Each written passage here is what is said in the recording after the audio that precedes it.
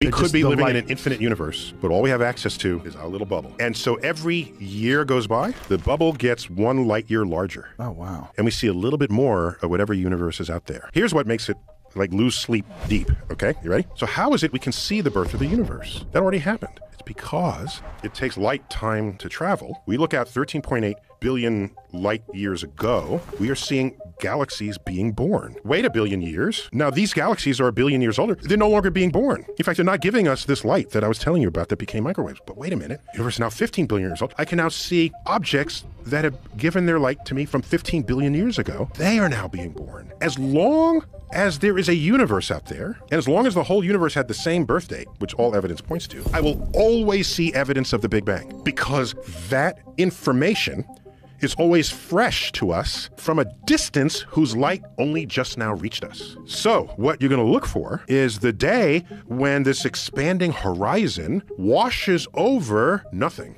If this expanding horizon moves and there's no galaxies there and there's nothing, then all the information about the formation of the universe goes away. And the Big Bang no longer has anybody telling us it is going through a Big Bang.